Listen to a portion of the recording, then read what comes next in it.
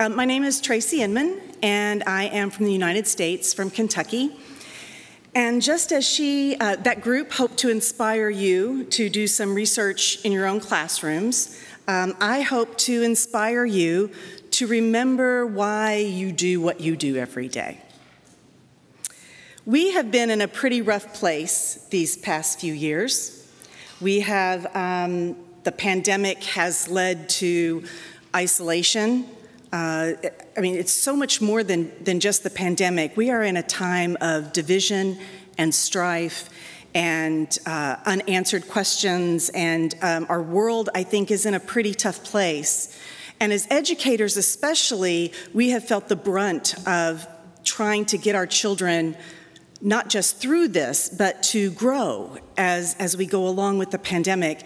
And so I think it's been very challenging um, to try to not only just teach them reading and writing and arithmetic, but to try to make sure they're navigating these waters in a healthy way. So I'm going to focus on joy and try to remind you of why you're doing what you're doing. You'll see here that there's a Padlet um, address. And so if you're interested in any of these stories, this whole slideshow is, is on the Padlet. Now, I will tell you that I've written these down. Um, I am going to read them, but I know as uh, some of you are non native English speakers, it may be easier for you to read in, instead of listen. So, this is kind of my inspiration.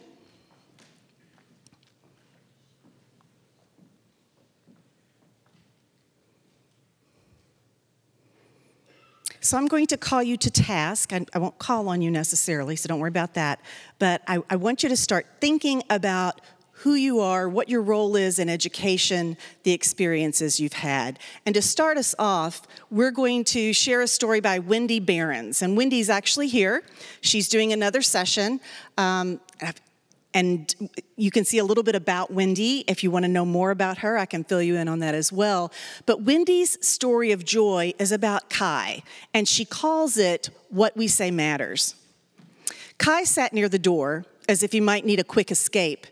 He waited nervously for math team practice to begin. A head taller than most, he wore his hair neatly braided and clothes that were clean but well worn. I startled him, saying, Kai, I am glad you came today. When we divided into smaller practice teams, he looked at me as if to say, I can't do this. Kai's team won the competition that day, earning suckers as trophies. Kai stayed in the room after practice. Staring at his sucker, he said to me, I've never won a prize in school before. I really can do math, can't I? I followed my, by saying, Of course you can. And so he did. After experiencing success, Kai discovered a love for learning. His attendance and grades improved overall. He'd stop by my office to say hello, share a joke, or tell me something he found interesting. I lost track of Kai that fall when he entered middle school. Years later, standing in line at the grocery store, I heard someone say, See that lady? She told daddy he was good at math. I turned to see Kai holding a hand of a little boy. His hair was still braided, now with pressed clothes, wearing a collared shirt and tie. I later learned he became a math instructor at our local technical college. For Kai and for me, words made all the difference.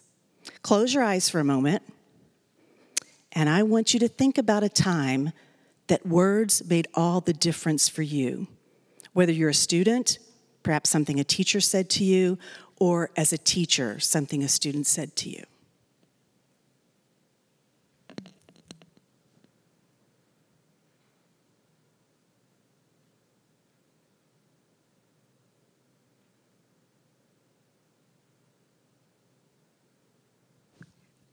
I wish you could see what I see very soft expressions, smiles on faces.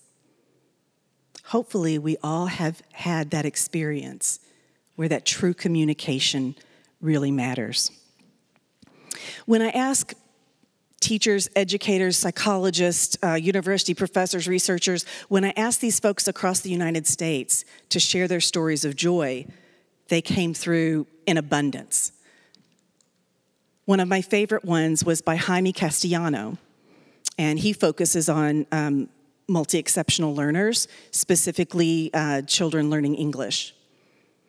I first met Lucas when he was a three year old Spanish speaking immigrant from Venezuela. His parents enrolled him in our federal Head Start program. In the beginning, he would yell, scream, hit, hit, kick, and attempt to run away as his parents walked him to his classroom. There were many days when I had to literally peel Lucas off his mother's leg. Eventually, though, he settled in and would greet me each day with a hug and a smile. One year later, Lucas was leading circle time, reading books in English to his classmates, and devouring all the content his Head Start teachers provided. During his kindergarten year in his local public school, Lucas was tested for gifted education services. He was assessed by a bilingual psychologist that surprisingly Lucas himself requested, and he surpassed all the scores needed for eligibility. He's flourishing in his gifted education program and looks forward to what the future may bring. This is a story that brings me joy and puts a smile on my face. Si si pueda. Yes, we can. Do you know a child like Lucas? Very unsure, terrified, clinging to his mother's leg, that within just a short time period, he's advocating for himself because he was given the confidence, shown that he can do things. This comes from Joy Lawson Davis. Um, she's an expert in the field, uh, in particular in equity of access and opportunities.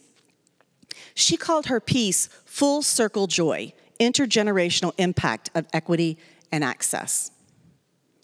Just last fall, I conducted a parent workshop for one of our nation's premier institutions' talent development programs. During the question and answer segment at the end of the workshop, a parent spoke up and noted how excited he was to learn from my wisdom during the session, for he had known me for many years. First, as an at risk student in a special enrichment program many years ago, and now as a parent. This young man later revealed that I was one of a team of educators that he believed were responsible for the trajectory of his life and for his current day success. He was humble, but proud to share that without the special program, he doubted that he would be where he is today. The program, he acknowledged, provided the equitable resources, challenging instruction, and support that he needed at a critical time in his life. His participation in the program from his middle school years through high school provided an entry to higher education and a world that students like him would never have participated in.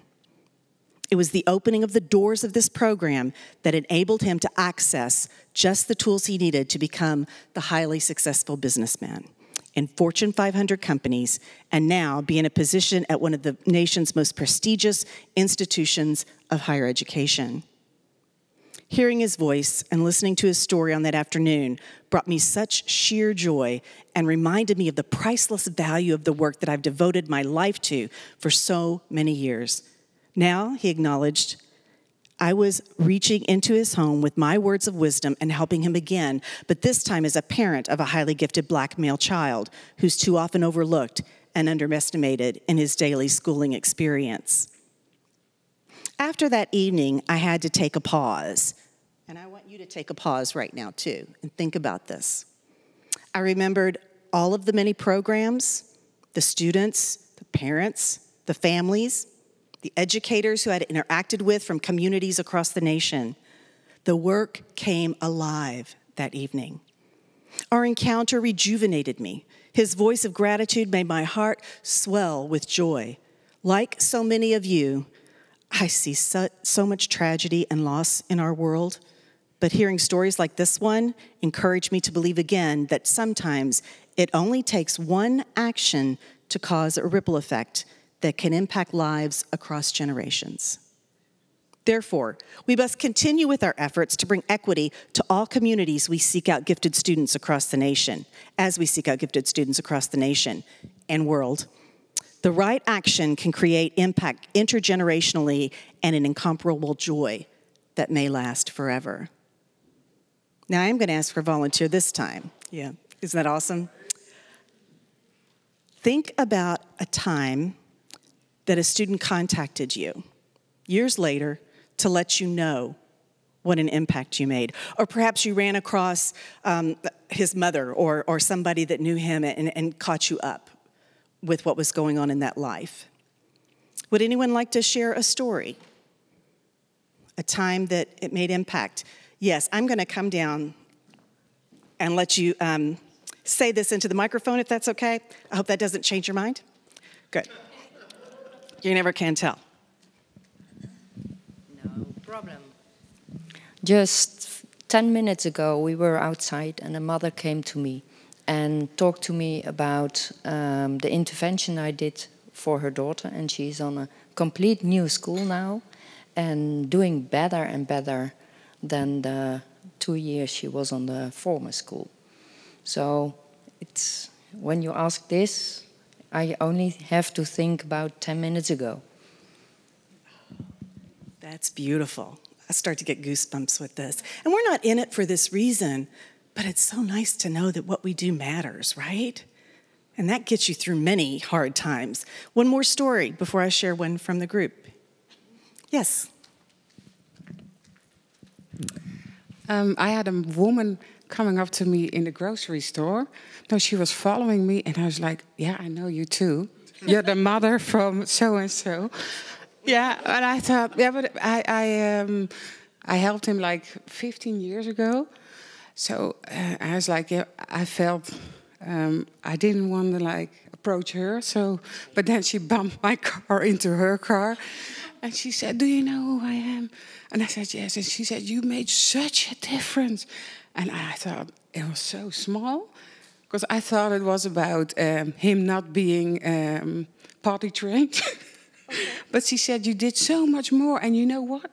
He wants to be a teacher now, too. So he was studying to be a teacher for the special needed. I was like, Oh, I'm happy. You made my day. That's beautiful, yes. Uh, and we need to serve as mentors for those young folks, don't we? I saw your hand too. I'll, if it's okay, I'll actually just read a little bit of an email that I got two months ago. It's, it's short. Um, hi, Orla. Every once in a while, I get the urge to email you and let you know how much the atmosphere you fostered in CTYI affected me. Uh, we had very few direct interactions. Most of them were you giving out to me because I did something stupid or deeply inappropriate and wrong, but that's part of it. The culture you fostered in CTYI was so accepting that I felt comfortable enough that I could make mistakes and grow. I, like a lot of CTYI kids, am autistic, which means much of my life I had been met with the frustration of adults who didn't understand why I just didn't understand things. But I never felt that at CTYI. A year or two ago, I came out as transgender, and I knew exactly who I could tell and who would accept me because I knew they went to CTYI, and you can't survive that place as a bigot. You gave people a place to honestly, completely be themselves. When someone does that, it's impossible to leave that place thinking it's a bad thing. The world is getting scarier for minorities of all stripes, but I want you to know that you are making an active difference in making people more comfortable. Without you, I probably wouldn't be the woman I am today. I'd probably still be a hateful little boy. I'm sure I'm not the only one that cannot speak on others' behalf, but thank you.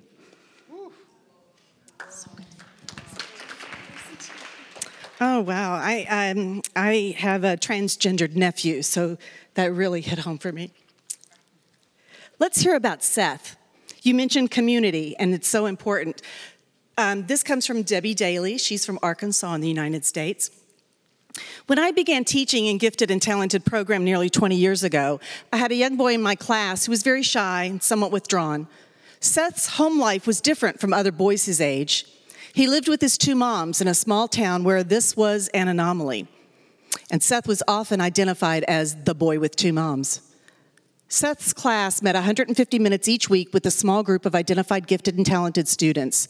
Students participated in various curriculum projects, including individual and group research activities, stock market research and games, inquiry based science units, and various field trips. Seth was in my GT class for four consecutive years.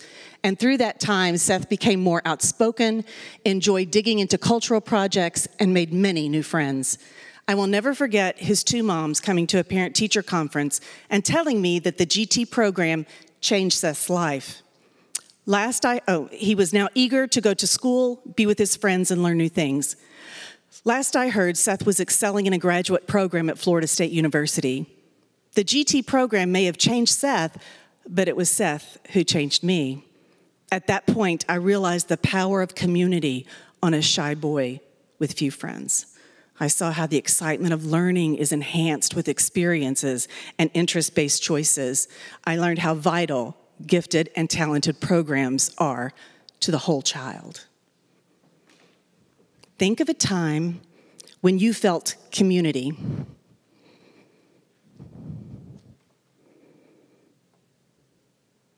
I don't know about you guys, but this is one place I feel community.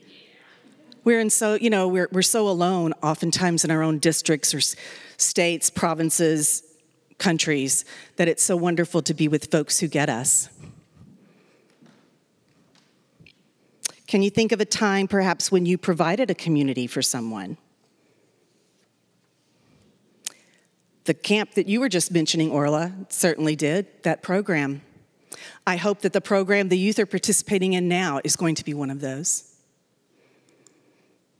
This one comes from Vicki Cooper, and she is a, a teacher in a very rural district. One afternoon, I was reading through essays. A student asked me to revise for his application to a prestigious alternative high school. My eyes filled with tears while reading the one about overcoming adversity. He shared his experience of not fitting in at his new school and the agony it brought him. He wrote about his first day coming to my gifted class Everyone was like me. Even the teacher was weird, but, but in a good way. That class saved my life. He explained the impact my class had made on his life.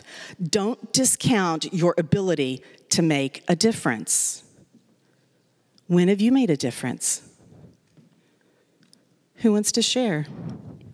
Uh, last year, I was working with a, um, a tiny boy who was very scared. He was dropped out of school uh, and even in, in, the place we were uh, providing uh, for them, um, it, it, didn't work out.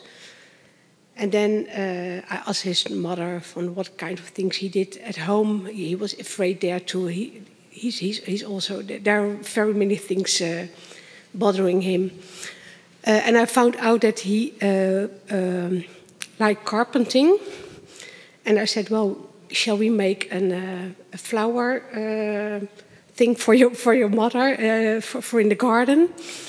Uh, and he started to cry, and he said, "We don't have the money for the wood." And I said, "Well, I'm a daughter of a carpenter, so we I will provide the wood."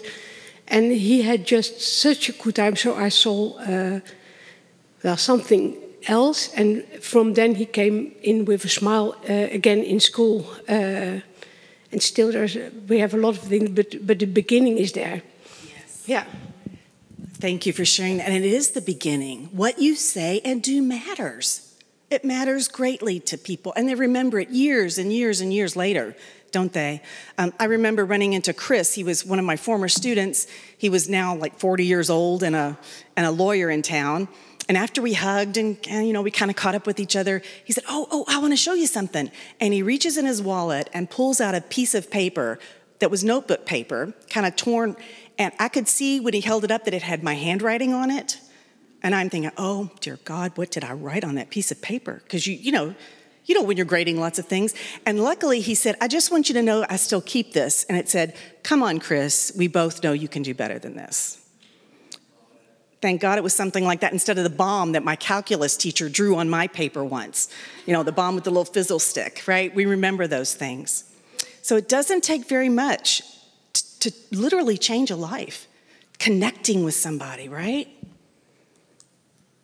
Um, the, this is interesting too. He's going to share, Justin Mareshi is a teacher in Louisville, Kentucky, and he's going to share the first time he saw giftedness at work. I always offer opportunities for independent practice. Years ago, after a teaching a unit on electromagnetism, a student asked me if she was allowed to make electromagnetic shoes for her independent project. Okay, so shoes that are picking up metal stuff, right? Initially, she'd hoped she would be able to walk up a steel I beam. Now, think about that. On the wall, she wants to walk. Hey, great ideas, right? Um, but settled for picking up copious amounts of purposely sp- spilled paper clips in her presentation of the class. Her electromagnetic shoes were expertly planned with independent switches for each foot attached to her belt for easy access. She presented her creation to the class by creating a man on the street style performance for her classmates. This was the first clear example of giftedness I remember witnessing in my classroom. Close your eyes. Think about the first time you witnessed giftedness in yourself, in your child, in a student in your classroom, a university student.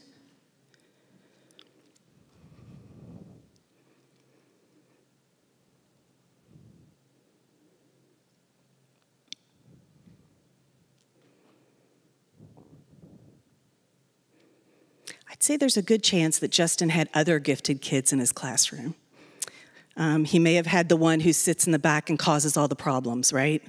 We, we've all had experience with those kids because they're not being appropriately challenged. This sparked an interest in him, and he now has a specialist degree in gifted education because he was wondering who else is out there? Who, who can I help find and, um, and inspire, perhaps? Uh, this one's just from a very small town. I loved it. She's out in Montana, Tamara Fisher Alley. Uh, Miss Fish, do I get a prize for solving this puzzle? Prove you solved it first. He lays the nine pieces on the table. It's solved, but I don't recognize the puzzle he's returning. I have puzzles like it, but this one isn't familiar. Yet there is GT in my handwriting written on the corner of the packaging. It dawns on me. His mother, one of my former students, checked out the puzzle almost two decades earlier and never returned it. Here was her son, a third grader, returning it. They'd solved it together. Two prizes. For so many of us, these moments come from our, our children, our students, right? Regardless of the age.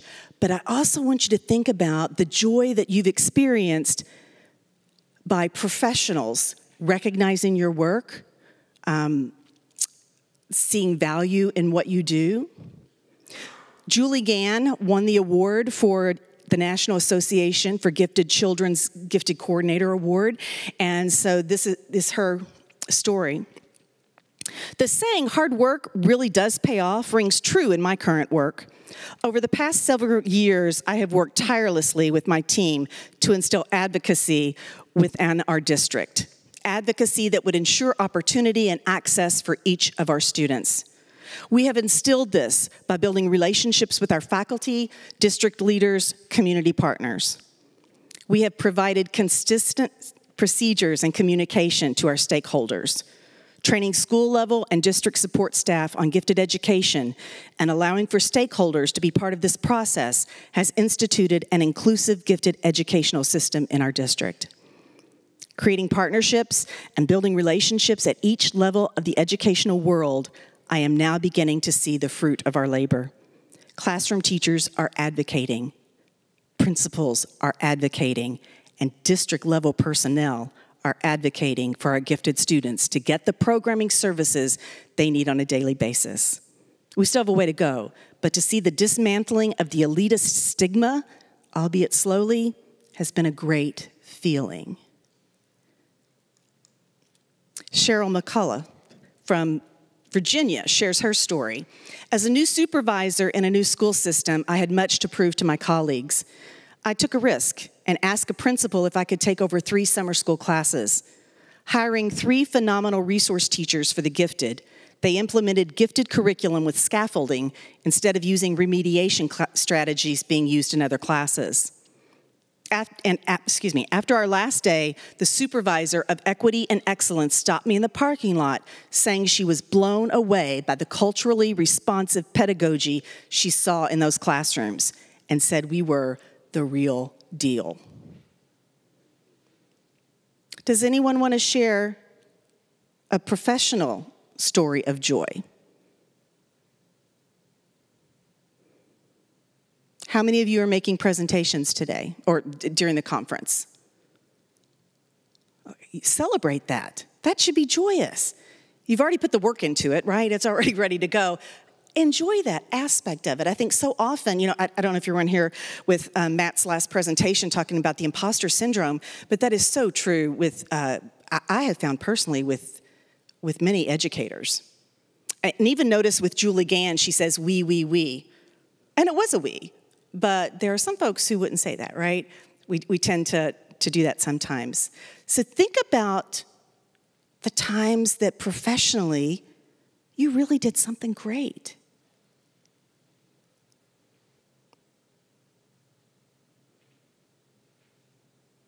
Any sharers?